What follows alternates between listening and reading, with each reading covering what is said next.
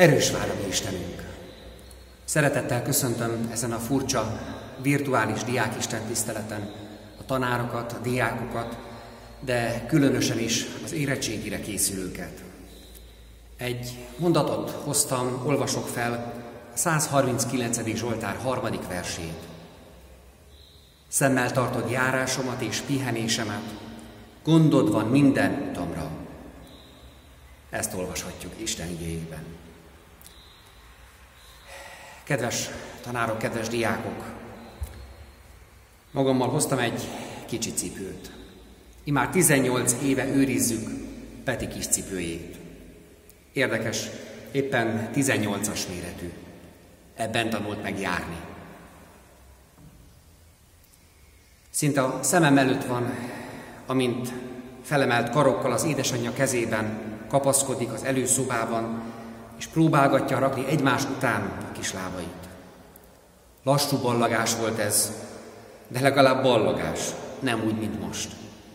Pedig úgy készült rá, veletek együtt. Noha az ünnepi iskola bejárás most elmarad, azért mindannyian ballagtok, kedves érettségizők. Hétfő reggel beballagtok az iskolába. Van, aki örömmel, van, aki kevésbé. Ám akárhogy is, egy dologban mindannyian biztosak lehettek. Érettségire ballagásotokat figyelemmel kísérik sokan. Szülők és testvérek, nagyszülők és tanáraitok, sőt maga az Úristen is. A Zsoltár szerzője ebben a bizonyosságban élte mindennapjait, és ti is tudhatjátok, őt érdekli az utatok, a vizsgátok is, a pályaválasztásotok is, az egész életetek. Mi talán különösen is akkor tudatosítjuk ezt magunkban, amikor totyógó kisgyermek módjára lépteink elbizonytalanodnak, amikor megbotlunk. Igen, hála neki, ezekben a bizonytalan, butladozós, vizsgadrukkal teli napokban különösen is számíthatunk rá. Ám máskor is, ezt sose feledjétek. Ismeri járásotokat és pihenéseteket. Igen, a sok éves iskolába járásotokat is, a külön órákra járásaitokat is, és veletek együtt emlékszik az iskola mellé járásotokra is, és a tanulás helyett választott külön utaitokra is. Látta, hogyan értetek ide az érettségi küszöbére. Talán szüleiddel együtt büszkén tekint rád. Talán együtt érez veled, és karját nyújtja, nehogy hasra es. Emlékszik eddigi lépéseidre, és felkínálja áldását, további lépteidet segítő szeretetével. Különösen igényen keresztül.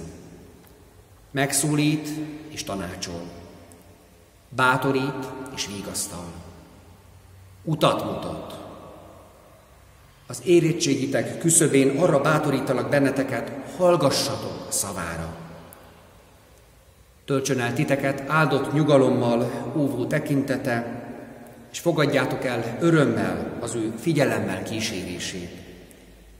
Továbbra is segítségét kínálja, hogy további lépteitek áldások útja legyen.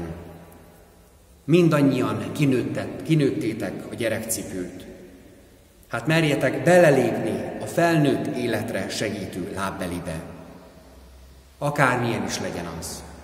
Orvosi klumpa, acélbetétes munkáscipő, koncertező topánka vagy öltönyöz illő fekete félcipő, akármilyen.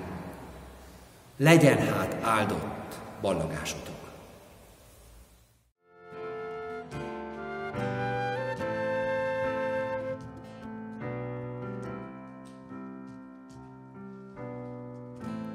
Meghívtál, hogy vízre lépjek, hol nélküled elsüllyedek. Benne megtalállak téged, a mélységben megtart hitem.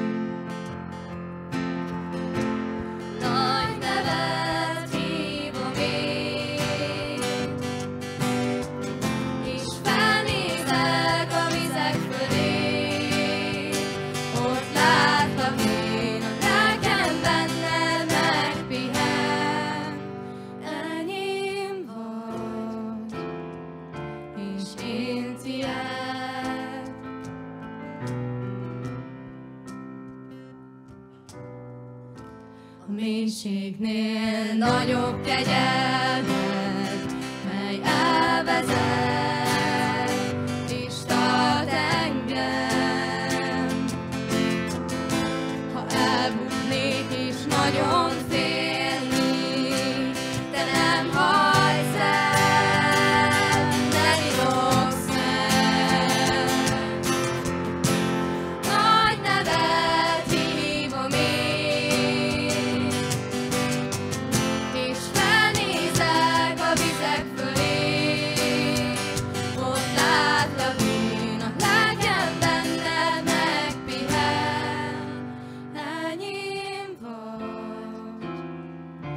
és én tiéd.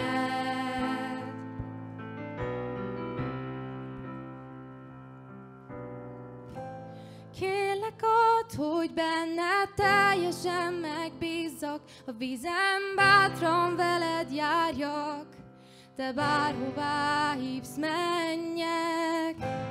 Vigyél tovább, mint a lábam tudna menni, taníts teljes hittel járni, jelenlétedben élni. Kérlek add, hogy benned teljesen megbízzak, a vízem bátran veled járjak, te bárhová hívsz, menjek. Vigyél tovább, mint a lábam tudna menni, taníts teljes hittel járni, jelenlétedben élni.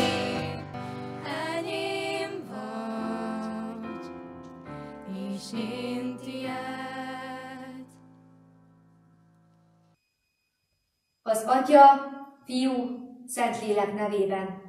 Amen.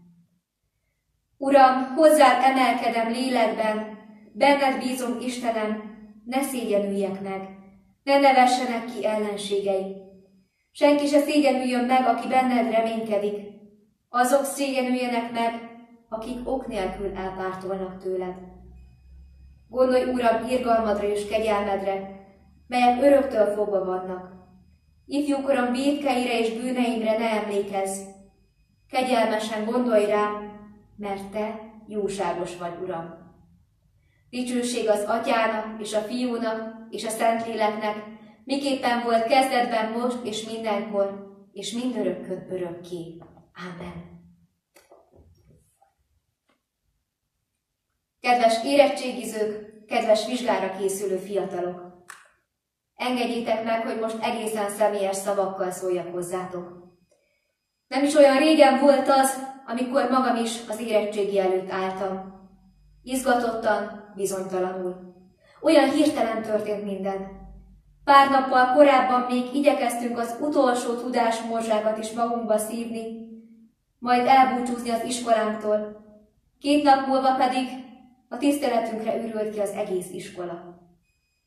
Azért, hogy mi nyugodt körülmények között adhassunk számot arról, hogy 12 évig, a mi nyelvi előkészítős osztályunk esetében pedig 13 évig nem hiába koptattuk az iskolapadokat.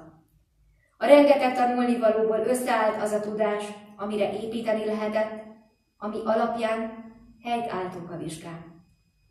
Akkor értünk örült ki az iskola. Most pedig éppen ellenkező a helyzet. Értetek nyitják ki a kaput, és értetek tér vissza néhány felügyelő tanár a digitális oktatás ideje alatt otthon töltött hetek után. Számomra akkor az érettségi befejeztével nem ért véget a vizsgahelyzetek retteget időszaka. Sőt, csak ezután kezdődött a java. Jól emlékszem az első egyetemi vizsgaidőszakomra. Már az első fél év szorgalmi időszaka sem volt láblógatós a teológián. Fél év közben is rendszeresen voltak feladatok, dolgozatok. A vizsgaidőszak mégis hirtelen szagadt a nyakamba. Emlékszem, amikor az egyik legnehezebb vizsgámra készültem, borzasztóan rám nehezedett a helyzet súlya. A vizsgák mennyisége, az egyes tantárgyak követelményrendszere, a megtanulhatatlannak látszó tételmennyiség, és ami az íre feltette a pontot, az idő rövidsége. Úgy éreztem, hogy kilátástalan a helyzet, hogy az előttem álló akadályokat átugorjam. Ez a helyzet annyira bénítóan hatott, hogy azt a kevéske időt sem sikerült maximálisan kihasználni a vizsgákra való felkészülésre. És amikor már kezdtem volna feladni, hogy minden első fél évre betervezett vizsgát időben teljesítsek, akkor kopogtattak az ajtómon. Egy diáklány volt az, kezében egy borítékkal. A borítékban pedig az egyházkerület újévi ajándéka volt, köztük egy fali naptár, a 2012-es év igéjével, a második korintusi levél 12. fejezetének 9. verséből, melyben eredetileg Pálapostolhoz szól az Úr a következőképpen. Elég neked az én kegyelmem, mert az én erőm erőtlenség által ér célhoz. Akkor és ott éreztem, hogy ezek a szavak nem csupán a kereszténység terjedésének, gyülekezetek alapításának egyik legjelentősebb alakjának szóltak a múltban, hanem teljesen biztos voltam benne, hogy Isten nekem is szánta ezeket a szavakat. Amikor éreztem, fogytán van a lelki és szellemi erőm, akkor ő kegyelmét és saját erejét ajánlotta. Akkor átéltem, hogy Isten ígérete a kilátástalanságban is reményt ad, és még annál is sokkal többet. Ez az ige szakasz végig kísérte az egyetemi tanulmányaim, nem kevesebb, mint hat év vizsgázással teli időszakát. Megtapasztaltam, hogy az Úristen elég erős, és hatalma van arra is, hogy a tanulásban, készülésben és a vizsgahelyzeteken is átsegítsen, akkor, amikor az ő segítségét kérem, és beismerem saját gyengeségemet.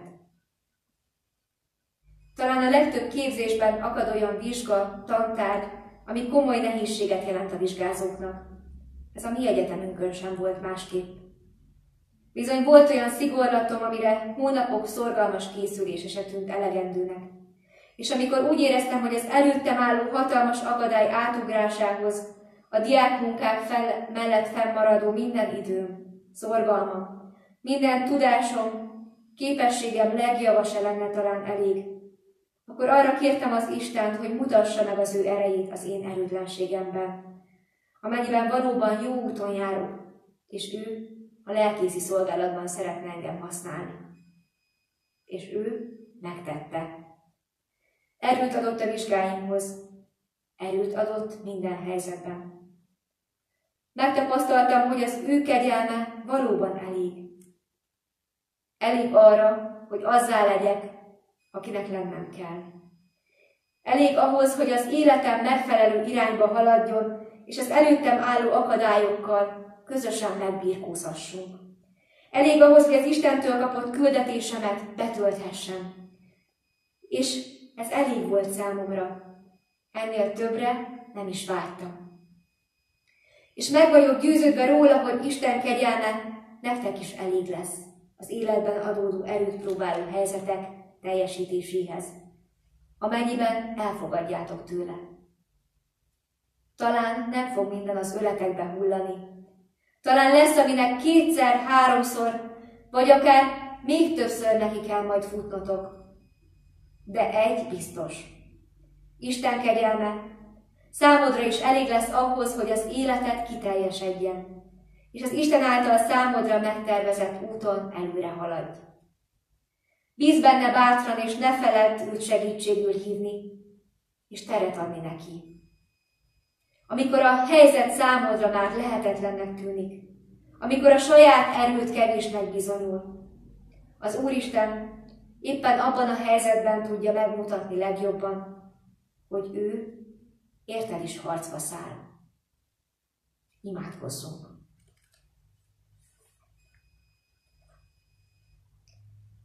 Mennyei atyánk, hálásak vagyunk neked azokért a fiatalokért, akik a mi iskolánkban cseperedhettek felnőttek ki. Kérünk téged ad, hogy az elmúlt évek számos élménye, emléke, a megszerzett tudás, nevelőik, tanárai példái, útmutatásai áldásá váljanak számukra, és segítse őket a felnőtt életük minden lépésében. Urunk, áld meg mindannyiukat, akik érettségire, vizsgákra készülnek. Szabadítsd meg őket a bénító, blokkoló félelmektől. Add, hogy csak annyi izgalom maradjon bennük, mely segíti őket a legjobb teljesítményre, az idő hatékony kihasználására, és a 12 év alatt elsajátított készségek és tudás eredményes felhasználására. Istenünk, a te fiad azt ígérte a tanítványoknak, hogy a te szent lelked megtanítja őket mindenre, és eszükbe juttat mindent, amit ő tanított nekik. Hiszük, hogy a szent lelked a vizsgázóknak is eszébe juttathat olyan információkat is, melyek már rég a feledés homályába vesztek, vagy az izgalom miatt nem tud a felszínre törni. Kérlek, te legyél velük a megméretetés napjaid, segítsd meg őket, és mutasd meg számukra, hogy a te, kegy, te kegyelmed számukra is elég ahhoz, hogy életük a terved szerinti irányba haladhasson. De nem csak a vizsgáikon való te helytállásukért könyörgünk most. Mutasd nekik utat az életükben. Add, hogy igéd lámpásként világíthassa be az előttük álló utat.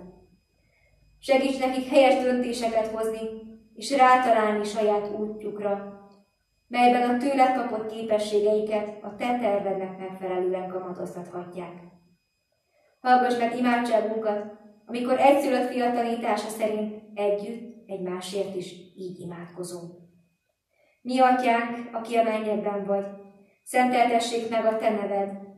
Jöjjön el a te országod, legyen meg a te akaratod, amint a mennyben, úgy a földön is. Minden napi kenyerünket add meg nekünk ma, és bocsáss meg védkeinket, miképpen mi is megbocsátunk az ellenünk védkezőknek. És ne vigy minket kísértésbe, de szabadíts meg a gonosztól, mert tiéd az ország, a hatalom és a dicsőség mindörökké. Amen.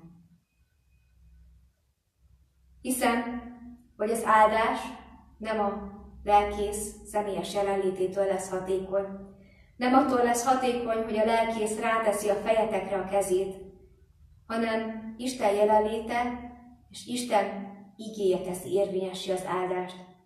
Így fogadjátok most az Úr áldását, aki hiszen, hogy most is veletek van otthonaitokban, így fogadjátok most az ő áldását, az ő szava, ő igéje szerint. Ezt mondja az Úr, elég neked az én kegyelmem, mert az én erőm erőtlenség által ér célhoz. Áldjon meg titeket a mindenható Isten, aki Atya, Fiú és Szentlélek. Amen.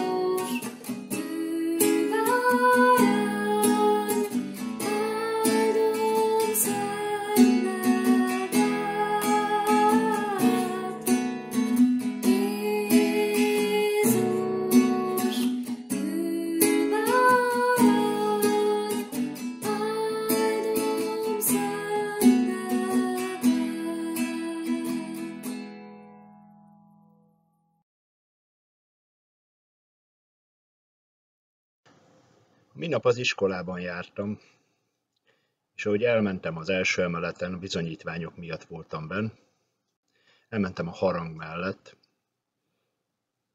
és a fejembe vágott, hogy 10 órakor szombaton meg fog szólalni.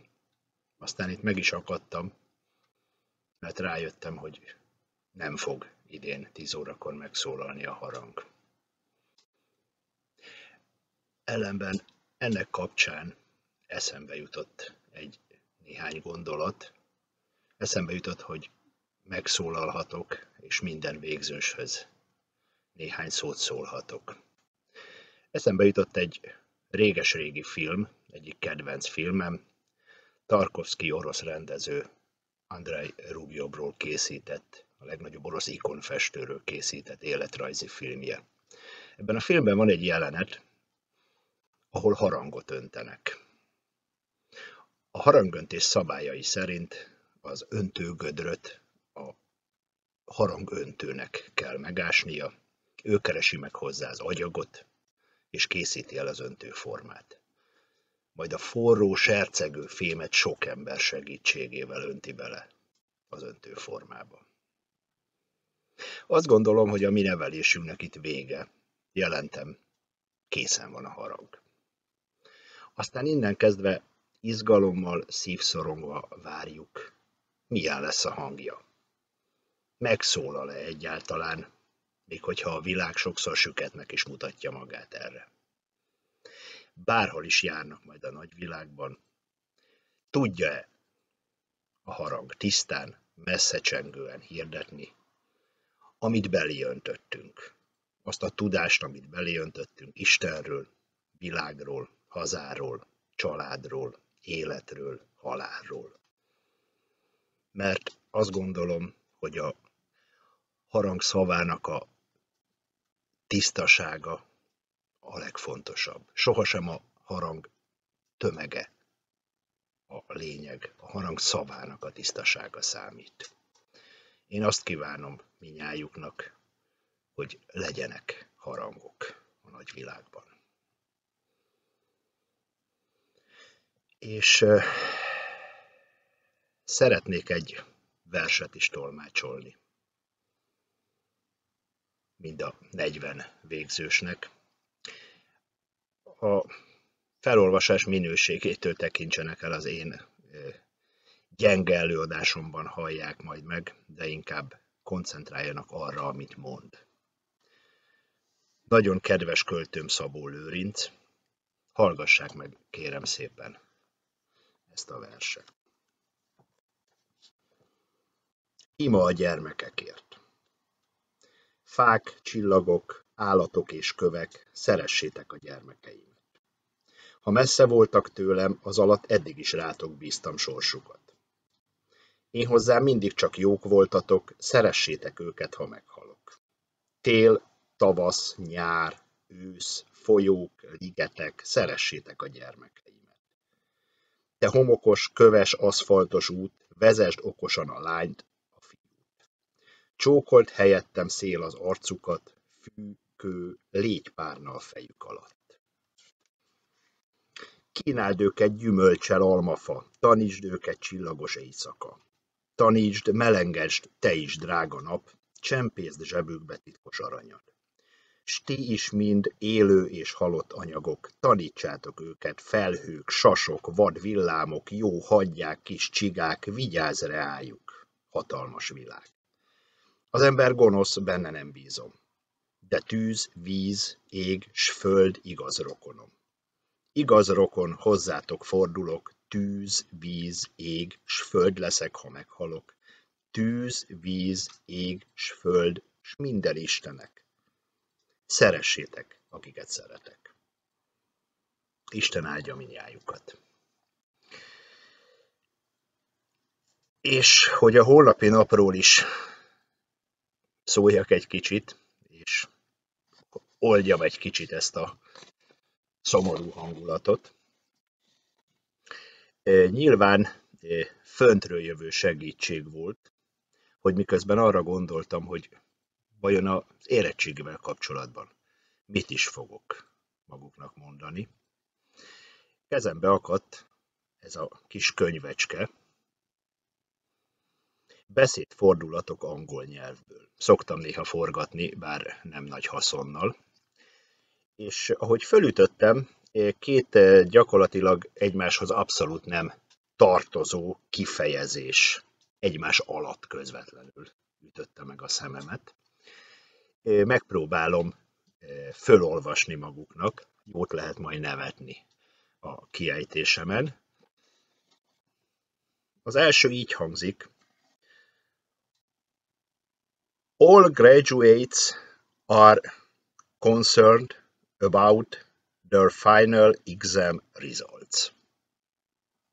Azt mondja ez a kis könyvecske, hogy azt jelenti a kifejezés, minden végzős diák aggódik az érettségi eredményei miatt. De aztán közvetlenül alatta a következő szófordulat így hangzik. Our teams did their best concerning both their attitude and their results. Elmondom azért magyarul is, mert nem biztos, hogy megértették az én fantasztikus tolmácsolásomban. Azt mondja ez a kis könyvecske, hogy csapataink minden tőlünk telhet, tőlük telhetőt megtettek, mind a hozzáállást, mind az eredményeiket illetően.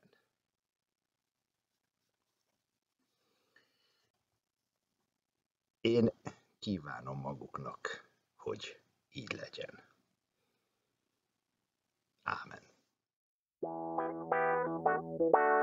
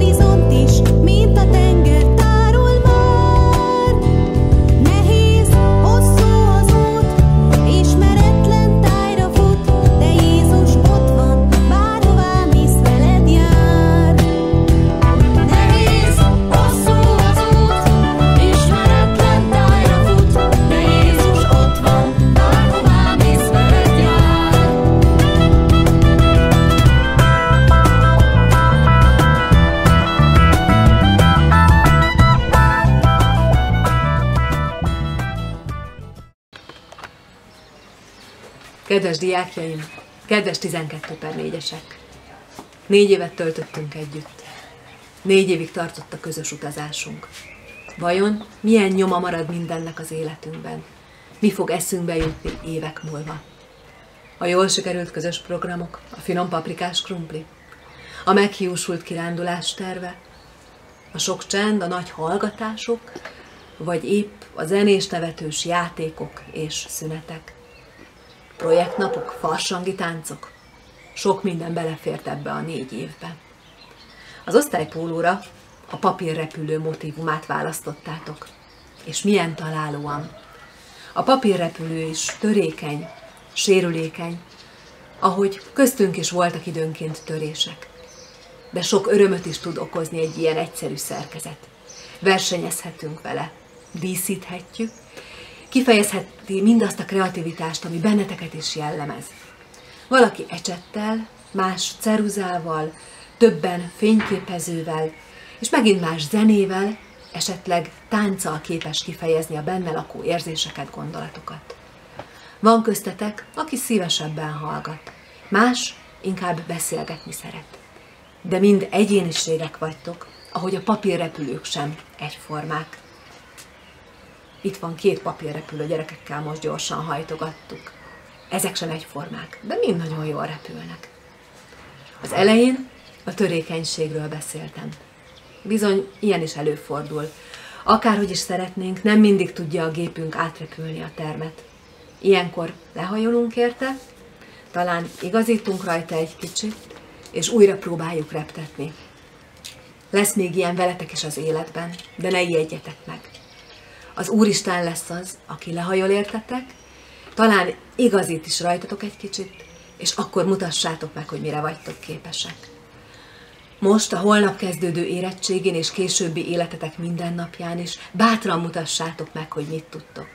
Mind nagyszerű emberek vagytok, tele lehetőséggel. Kívánom, hogy találjátok meg életeteknek azt az útját, amely a célhoz vezet benneteket. Isten áldjon mindannyi otokat.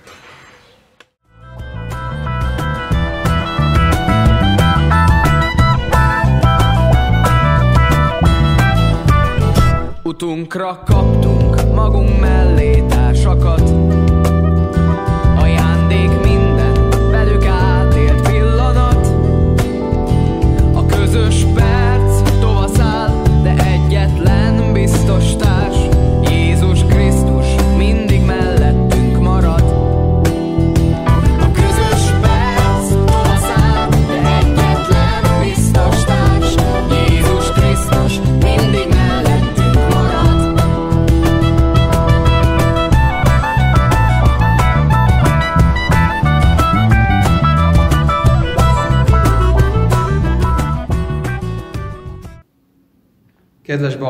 fiatalok! Nem erről volt szó. Az elmúlt napokban vicces öltözékekben bolondballagást kellett volna játszanotok. El kellett volna látogatnotok tanáraitokhoz, hogy énekeljetek nekik, ők pedig megvendégeljenek benneteket. Tegnap ünneplőbe öltözve, virágokkal elhalmozva, könnyek között kellett volna végigballagnotok az iskolán, hogy szüleitek, tanáraitok és diáktársaitok még egyszer gyönyörködhessenek bennetek, és ünnepelhessenek titeket. Mindezt osztálytársaitokkal közösségben, együtt nevetve, vagy éppen sírva, egymást támogatva és bátorítva kellett volna megtennetek. Ehhez képest az elmúlt másfél hónapot, az érettségire készülés utolsó heteit, a célegyenest, nagyrészt magatokra utalva, a négy fal között kellett tölten- töltenetek úgy, hogy erre a helyzetre egyáltalán nem volt lehetőségetek felkészülni. Sem vidám bolondozás, se szerenád, se ballagás. Nincs virághalom, nincs közös ünneplés. Van viszont érettségi, csak írásbeli, hogy mindent egy lapra kelljen feltennetek. Van vizsgastressz, van teljesítménykényszer, van járványhelyzet, van bizonytalanság. Kedves érettségiző fiatalok, nehéz helyzetben vagytok. Nem erről volt szó, nem erre készültetek. Ez az egész olyan, mint egy rossz álom. Mintha Isten hirtelen álmot bocsátott volna mindannyiunkra. José Eduardo Agualusa egyszer azt írta, Isten azért adta nekünk az álmot, hogy átkukucskálhassunk a másik oldalra. Talán ebben a rossz álomban Isten üzenni akar nekünk valamit. Talán mutatni akar valamit, amit ébren nem vennénk észre. Talán dolgunk van ezzel a rossz álommal. Én úgy gondolom, sokunk közös élménye, hogy rossz álmainkban zuhanunk, menekülünk, késésben vagyunk. Érezzük a fenyegetettséget, a félelmet, a kiszolgáltatottságot. Éppen úgy, mint a mostani helyzetben. Nos, amikor Isten dolgozni akar az életünkben, gyakran ad egy álmot. Egy álmot magunkról, arról, hogy mit tegyünk, arról, hogy hogyan akar minket használni abban, hogy hatással legyünk a világra. Sok példát találunk erről a Bibliában is. Elég csak Noé, Ábrahám vagy József történetére gondolnunk. És Isten ezeknek az embereknek az álmait mindig olyan helyzetben adta, ami egyáltalán nem kecsegtetett sem sikerrel, sem elismeréssel, sem boldogsággal. Nektek, végzős fiataloknak, ugyancsak egy igen nehéz helyzetben Isten adott most egy álmot. Rossz álomnak tűnik, és alig várjátok, hogy felébredjetek, és végre újra minden a régi legyen. Ebben a rossz álomban késlekedtek, de én hiszem, hogy végül a kellő időben mégis elindultok, és célhoz értek majd. Ebben a rossz álomban menekültök, de hiszem, hogy végül nem kerültök üldözőitek karmai közé. És igen, ebben a rossz álomban zuhantok is. De én hiszem, hogy végül finoman puhán fogtok földet érni, anélkül, hogy összezúznátok magatokat. Merem hinni mindezt azért, mert Isten bár megengedi a fenyegetettséget, a félelmet és a kiszolgáltatottságot, ezeken keresztül azonban mindig a jó irányba, életetek igazi küldetése felé terel benneteket. Lehet, hogy nem pontosan a régi, megszokott valóságra fogtok ébredni, de talán nem is ugyanarra kell ébrednetek. Nem értjük, hogy miért történik mindez éppen most, és éppen veletek. De most nem igazán tehettek mást, mint hogy átadjátok magatokat ennek az álomnak, és elhiszitek, hogy valami sokkal szebb fog végül kikerekedni belőle. Merjetek hát bátran álmodni. Merjetek belesimulni ebbe a rossznak tűnő álomba, amely azonban enged átkukucskálni a másik oldalra. Az élet álom, írja Calderon de la Marca. Kedves végzős fiatalok, legyen ez a rossz álom egy igazán álomszerű felnőtt életkezdete, egy csodálatos út első lépése. Isten óvja minnyájatokat, szép álmokat kívánok nektek! Itt